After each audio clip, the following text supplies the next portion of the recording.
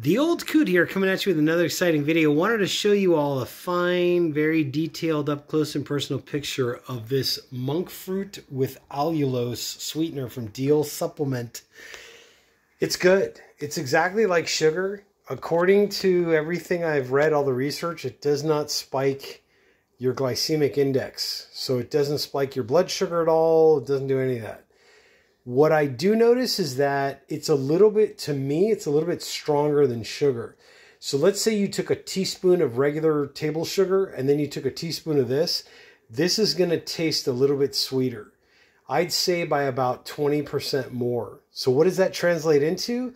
You could use 80%, right, as a replacement for sugar. So let's say you were going to use sugar in like a gelato or granita recipe, which I just did a video on, and you were going to use like 500 grams of sugar, instead you could use 400 grams of this and you would get the same sweetness.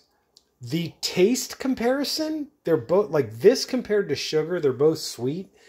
This does not have any chemical aftertaste or funniness to it. I don't get the headaches that I was getting with sugar. So that's a good thing. If I had to really narrow it down, there is like a essence kind of note to it.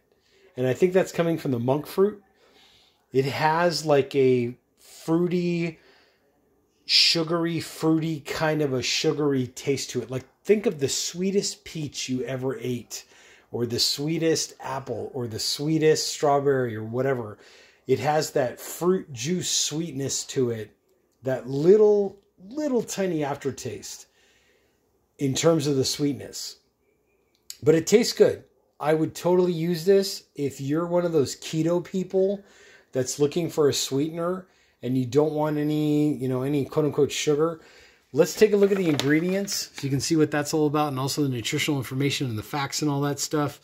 So there's your dietary fiber, total sugar zero, protein zero. Everything is pretty much zero, right? Carbohydrates, this is four grams of carbs in every serving. And I think what that's coming from mostly is probably from the monk fruit more than the allulose, maybe a little bit on the allulose. But in terms of like if you're diabetic, I have heard, don't quote me, do your own research, but I have heard that this will not spike your blood sugar the same way that sugar will. It's two totally different things, two opposite ends of the spectrum if you want to think about it that way.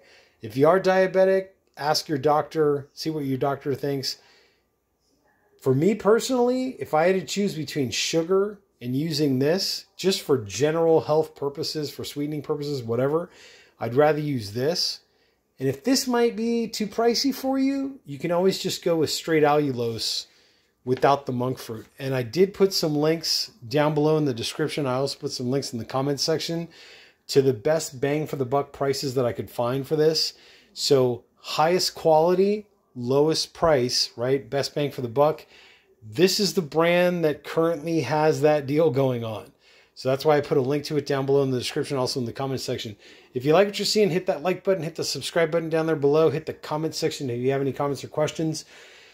Continuing with this video, if you made it this far, I've made granita with this and it's phenomenal. It freezes smooth and it has a lot of lot of nice creamy notes or texture or feel to it the same way that like real Italian granita has when you're on the streets of Sicily basically.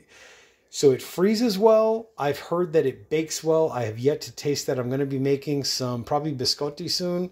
So we'll see how that all works out. But as far as I know, it's it's a one to one replacement for sugar.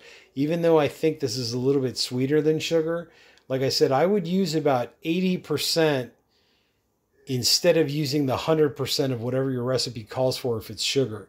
So like I said, if your recipe calls for 500 grams of sugar, use 80% of that, 400 grams of this stuff to equal the same amount of sweetness. And once again, just looking at your texture here, it is a little bit finer than granulated sugar.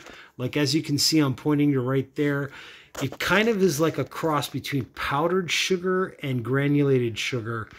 So you do get a little bit more fineness to it.